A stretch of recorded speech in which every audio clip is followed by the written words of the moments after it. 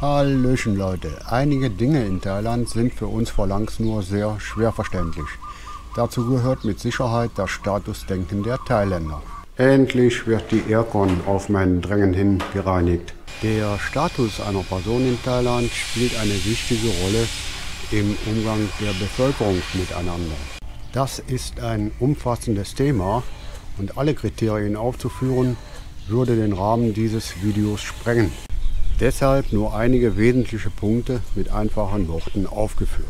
Status ist mehr oder weniger gleichbedeutend mit Gesicht gewinnen oder Gesicht verlieren.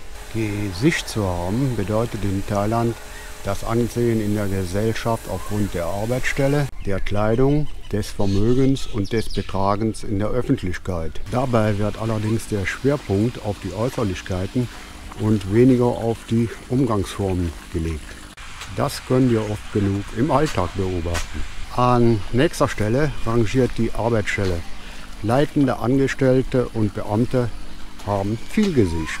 Die Landbevölkerung und Arbeiter haben wenig Gesicht. Das ist auch leider heutzutage noch so.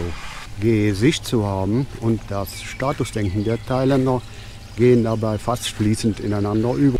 Thais handeln nicht nach dem Prinzip der Logik, sondern danach, was ihnen in den Augen der anderen Gesicht verleiht. Sie zeigen beispielsweise gerne, was sie an materiellen Dingen vorzuweisen haben.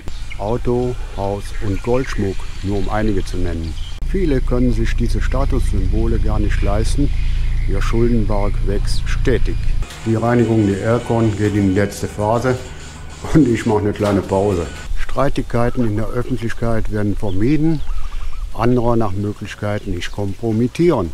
Das Lächeln der Thais drückt nicht immer nur Freundlichkeit aus, sondern zeigt ihre Verlegenheit in Situationen, die sie überfordern. Sie lächeln zum Beispiel bei Missgeschicken von anderen Menschen, um deren Gesicht zu wahren. Für den Ausländer unverständlich, er hält es natürlich für Schadenfreude.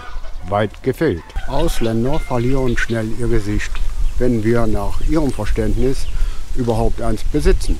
Falls wir uns in der Öffentlichkeit ärgerlich äußern oder herumschreien, bedeutet das Gesichtsverlust. Bei Streitigkeiten mit der eigenen Ehefrau und deren Gesichtsverlust ist Vorsicht angesagt.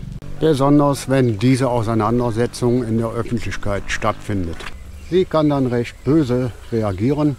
Besser ist es, solche Streitigkeiten zu Hause zu regeln. Thais machen nun mal keine Fehler, davon können viele Phalanx ein Lied singen.